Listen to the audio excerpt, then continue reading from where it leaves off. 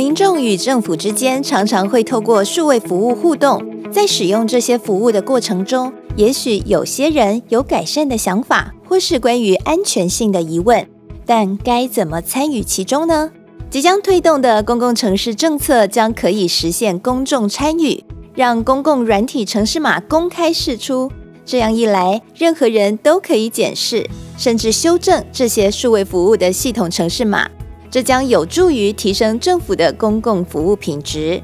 在 code.gov 的 TW 网站上，可以看到各机关已经公开的公共城市。点击更多细节，可以看到示范网站、系统功能展示图片。及说明或者授权方式等内容。找到你想参与的公共城市后，可以给予意见回馈或提供专业技术协助。Issue 是平台上的重要功能，类似网络论坛的讨论区，让有权限的协作者可以针对特定城市提出意见与讨论。无论是回报错误、建议新功能，甚至只是提问或寻求帮助，都可以透过 Issue 完成。以下是如何建立 issue 的说明方式：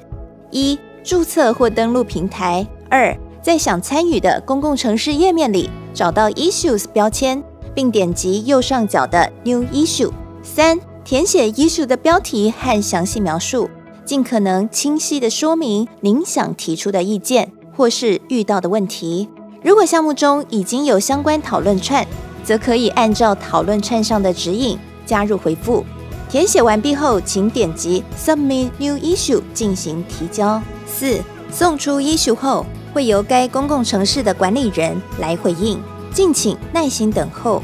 Pull Request 是平台中的通知机制，允许专业协作者告诉其他人有一段代码已经完成修改。目前各政府机关的公共城市提供不同程度的参与形式，因此若是您想要投入专业协作，包括进行代码审查、讨论和改进，请直接前往想参与的公共城市查看是否开放 Pull Request。若您为产业或学术单位，希望进行更深度的合作，如共同发展示范案例、研究公共城市相关的规范等，或是任何其他想法，都欢迎联系数位发展部。若您想更了解公共城市政策的推动与未来发展，也可以查看网站中的未来规划页面。